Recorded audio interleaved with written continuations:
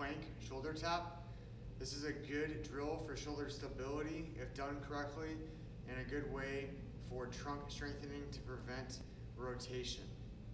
So, from a plank position, I'm gonna get my hands directly under my shoulders, my feet hip width apart. I'm gonna push my chest away from the floor.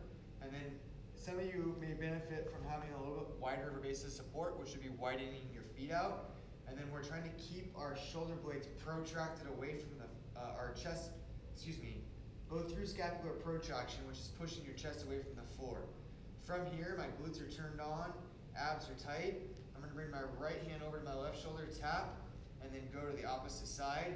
And I'm trying to do that without any rotation or dropping of my torso. So I should stay in a straight line from my head to my tailbone.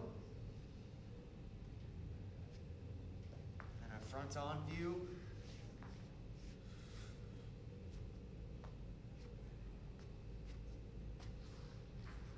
Pay attention to your programming. Some of you may be doing these for a, um, a prescribed duration, or it may be relative shoulder taps per side.